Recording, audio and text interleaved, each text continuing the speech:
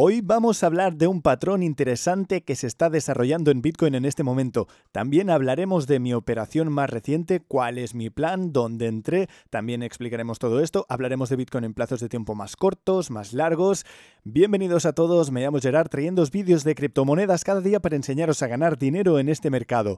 Si eres nuevo en este canal, asegúrate de suscribirte y activar la campana ahora mismo. Y dicho esto, entremos directamente en materia, porque en el marco de tiempo de 4 horas podéis ver que el borde de la caja naranja sigue aguantando el precio de Bitcoin bastante bien. En el marco de tiempo de cuatro horas las cosas siguen pareciendo, bueno, bastante decentes hasta que hagamos un breakdown de estos enormes niveles de soporte y uno de ellos es la caja naranja de aquí.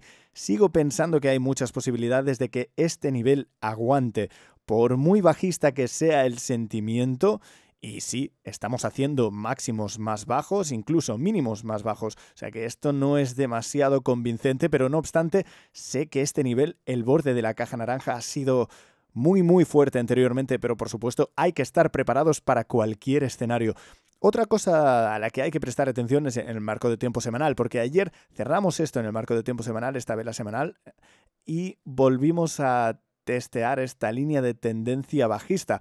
Y esto sigue siendo, como he dicho, no está tan mal. Eh, esto sigue inclinándose hacia abajo, sigue intacto en el marco de tiempo semanal. Todavía no nos hemos vuelto bajistas, aunque sí cerramos por debajo de este MA21 aquí. O sea que esto es definitivamente algo que es un poco preocupante, pero no obstante todavía tenemos esta línea de tendencia inclinándose hacia abajo y esto sigue siendo un fuerte soporte, aunque lo, lo estamos golpeando ahora mismo hay que ir con cuidado con esto también. Y en los mercados tradicionales, ayer abrimos sin conseguir un rally hacia la caja naranja. De hecho, seguimos bajando. Estamos ahora mismo por debajo de la línea naranja en 4.470. O sea que hay que estar atentos a esto.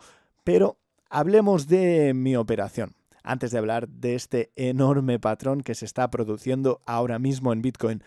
Entré en una operación aquí en el Exchange Delta. Ah, por cierto, los enlaces estarán en la descripción si queréis echar un vistazo. O sea que entré en 42.204. ¿Por qué en este punto? Bueno, si veis la línea naranja de aquí, la caja naranja está justo en el borde. O sea que entré ahí, creo que hay una alta probabilidad de que esto aguante. Si no aguanta, por supuesto tengo un stop loss. Aún no he añadido el stop loss, irónicamente, porque acabo de entrar en la operación, pero mi stop loss estaría justo aquí. O sea que si tomamos el mínimo de esta vela, esto está en unos 41.850, ese va a ser mi stop loss. O sea que, ¿qué estoy arriesgando? Estoy arriesgando como, bueno, 0.6, o sea que no está tan mal. Pero si vemos un rally, esto es un.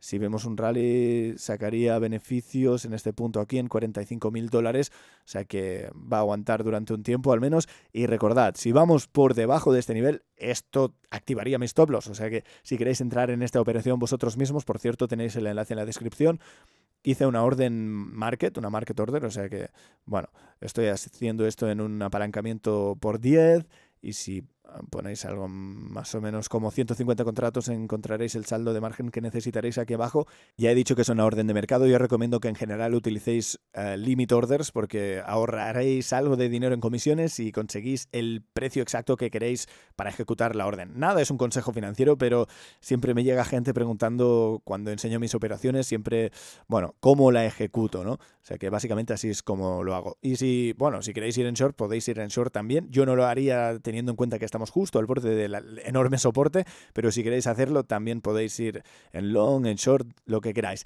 Mi precio de liquidación no está tan mal, está en 38.200, pero como he dicho, mi stop loss se activaría antes de llegar a este nivel de todas formas. Sea que añadiremos un stop loss ahora mismo. A ver, ¿dónde estaría el stop loss en 41.800? Podemos ver la pérdida esperada aquí también y ahí lo tenemos. Ahora, hablemos de esto porque estamos viendo que se está desarrollando algo interesante en Bitcoin. Este patrón es el ciclo de sentimiento de Justin Mames. ¿Y qué es esto?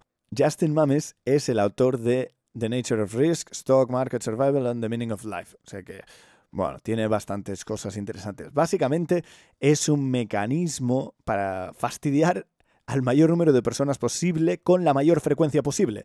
Y creo que muchos, especialmente en cripto, pueden estar de acuerdo con esto. Y lo que tenemos es esencialmente una representación gráfica de los estados de ánimo maníaco-depresivos que suelen experimentar los participantes en el mercado en función del tiempo y del precio en un bucle completo de sentimientos. Sé que cuando observáis el gráfico básicamente estamos viendo el sentimiento de la gente, la ansiedad, la euforia, añadimos el tiempo, añadimos el precio y eh, ya tenemos el mercado. Y se le ocurrió esta estructura general. O sea que después de una gran caída tenemos una cierta consolidación, tenemos la fase de pánico, luego tenemos pasamos por debajo de esta línea azul. Este es el precio de Bitcoin, por cierto, este es el modelo. Ir por debajo de él justo aquí, como podéis ver aquí, vamos por debajo de él. Y luego tenemos otro rally hacia arriba y lleva estos, mirad estos dos picos aquí. Luego nos movemos un poco y tenemos esto. Esto es el retest de la línea azul, ¿vale? Lo tenemos aquí y también tenemos este pico particular aquí, ¿vale? Subimos, pero luego volvemos a bajar. Hacemos un retest, rompemos por encima, algo más o menos así, rompemos por encima y luego ah, volvemos a testearlo a la baja también. Y la pregunta es, Ahora mismo, por supuesto, si esto va a seguir con la fase de ansiedad aquí, entonces tenemos otra gran caída que básicamente significaría que volvemos a subir a unos 48.000 y luego tenemos otra caída a 42 antes de hacer un gran rally hasta 72.000 o lo que sea. O sea que esto es realmente interesante. Es muy crudo y cada modelo es válido hasta que deja de serlo. Pero bueno, podemos seguir observando esto, podemos seguir observándolo y ver si se desarrolla como el modelo nos está mostrando. Pero por supuesto, habrá algún tipo de variación, nada es exactamente como el modelo, pero no obstante, si queréis que os mantenga informado sobre esto, creo que es bastante interesante. Hacedmelo saber abajo en la sección de comentarios. Y otra cosa, mañana no habrá vídeo porque Satoshi está de viaje, así que nos vemos de nuevo el miércoles. Nos vemos el miércoles. Y nada más, gracias por ver el vídeo y nos vemos en el siguiente.